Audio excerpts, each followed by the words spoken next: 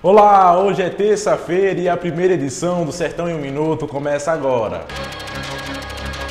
Um fato, no mínimo hilário, foi registrado pela polícia na madrugada de ontem, segunda-feira, no município de São Sebastião.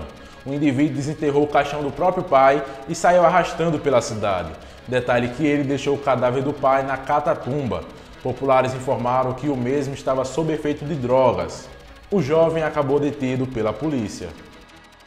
O plenário da Assembleia Legislativa de Alagoas aprovou o parecer das comissões ao projeto de lei número 386/2020, de autoria do Poder Executivo, que dispõe no âmbito do Estado de Alagoas sobre a obrigatoriedade do uso de máscaras nos espaços que indica durante o período da pandemia causado pela Covid-19. Com a aprovação do parecer, o projeto deverá ser analisado e aprovado em segunda votação nesta terça-feira. Uma vez aprovado, segue para a sanção do Executivo, já que trata-se de um projeto do governo do Estado.